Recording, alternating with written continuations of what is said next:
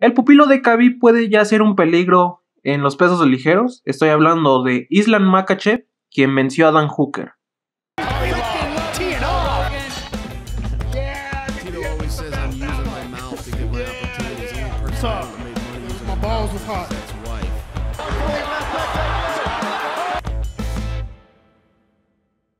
En este caso, pues, uno de los entrenados por Khabib consuma una victoria por vía de la sumisión ante Dan Hooker, peleador neozelandés, y Khabib lo festeja eh, con todos desde su esquina, y si no mal recuerdo con Hasbullah. Básicamente esta victoria lo que hace es consolidar a Islam, ya que en el ranking estaba en una posición muy buena.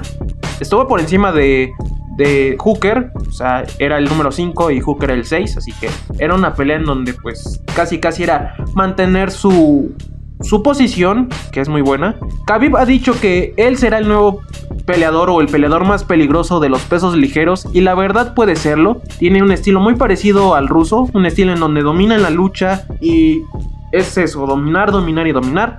La verdad ya en este momento debe pelear con peleadores mejor rankeados que básicamente son solamente cuatro, sin contar al campeón obviamente, Charles Oliveira. El primero que se me viene a la mente a mí es Benil Darush, ya que ambos estilos se basan en el suelo.